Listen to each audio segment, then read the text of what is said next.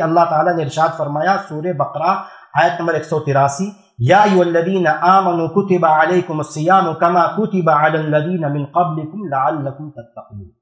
कि ईमान वालो, तुम पर रोजा फ़र्ज़ किया गया है, जैसे तुमसे पहली कौमों पर फ़र्ज़ किया गया था, क्यों? लाम लाल्ला ये तालील के लिए होता, मकसद बताने के लिए। मकसद क्या है?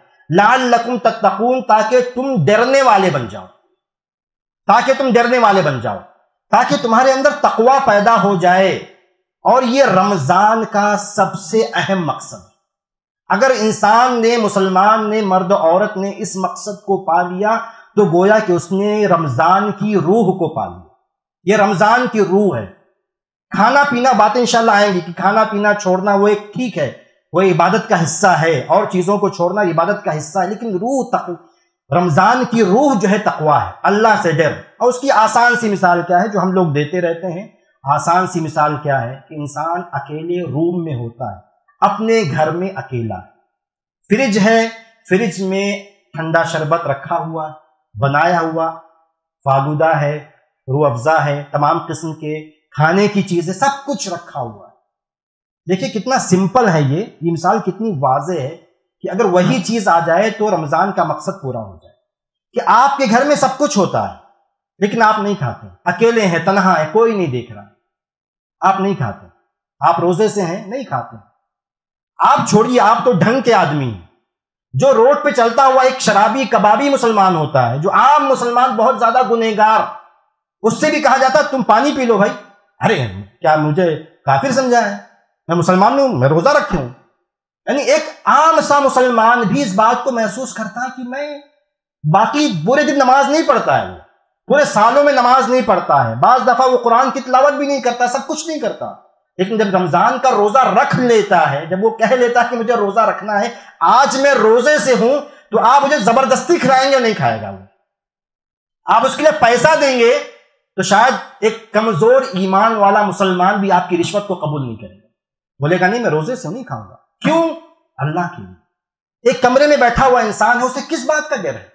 अकेले में है, तनहाई में है, सामान, मुहैया सब कुछ खा सकता है, पी सकता है, लेकिन वो नहीं खाता, नहीं पीता, जायज़ चीज़ है, ऐसी चीज़ जो उसके लिए पूरे साल जायज़ है खाना पीना। उसको भी अल्लाह ताला के हुक्म की वजह से, नबी के हुक्म की वजह से, नबी के फरमान की वजह से नहीं खाता, नहीं पीता। यही तकवा यही रमज़ान सिखाना चाहता है।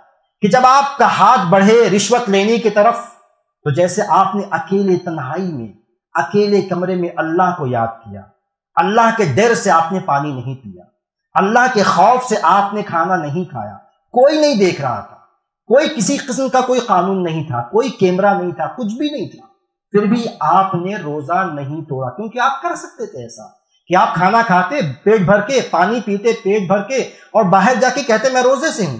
कौन चेक करने जाता है? कौन आपका जाके पेट का एक्सरे लेगा कि नहीं, आपने खाया कि नहीं खाया, पिया कि नहीं पिया, कोई नहीं करेगा।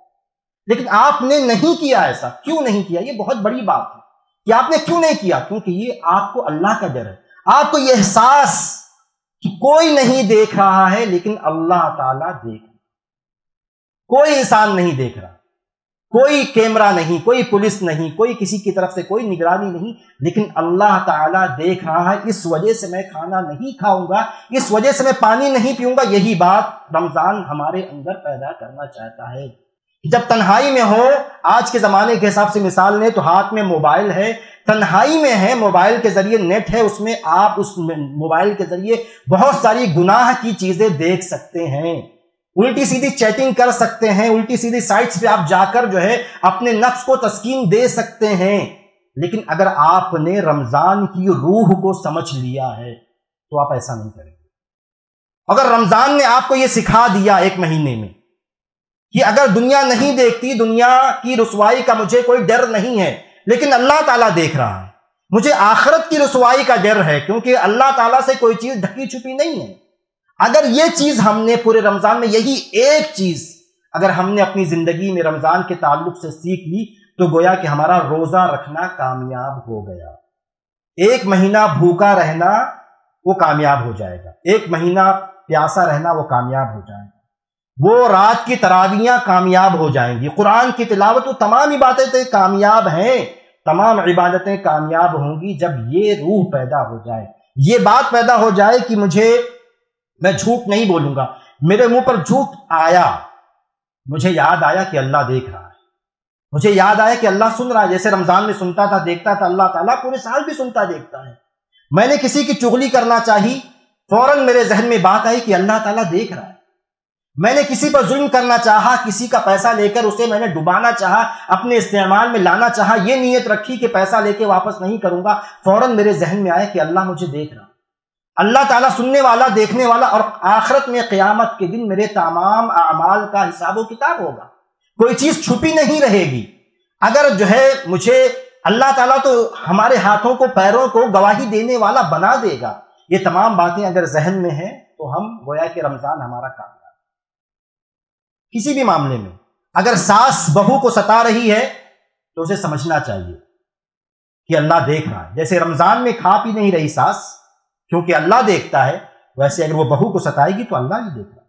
अगर बहू सताती है सास को तो अल्लाह देख रहा है। हम अगर अपनी बहनों का हिस्सा मार के बैठे हैं, मीरास का तो अल्लाह देख रहा है। तो ये मुराकबा की जो कैफियत है, ये कैफियत जो, जिसे एहसान भी कहा गया, जिसे मुराकबा कहा गया, कि अल्लाह हमें देख रहा है, हमारी हर हरकत और सकनात को अल्लाह ताला देख रहा है। तो ये रमज़ान का है पैगाम, रमज़ान का सबक, रमज़ान का मकसद ये है कि ये तकवा अल्लाह का ये डर हर मुसलमान के अंदर, चाहे बूढ़ा हो, नौजवान हो, या वो मर्द हो, औरत हो, हर इंसान के अंदर पैदा हो जाए। कि गुनाह करने से पहले, जैसे हम गुनाह करने जा रहे हैं, किसी भी हमने कदम उठाया, हमें याद आया कि अल्लाह देख रहा है। जैसे रमज़ान में पानी का गिलास उठाने के वक्त हमें जहन में आया था कि अल्लाह देख रहा है, हम औरों को धोखा से दे सकते हैं, लेकिन अल्लाह ताला को धोखा नहीं दे सकते हैं। यही बात हमारे जहन में यहाँ भी आनी चाहिए। एक बात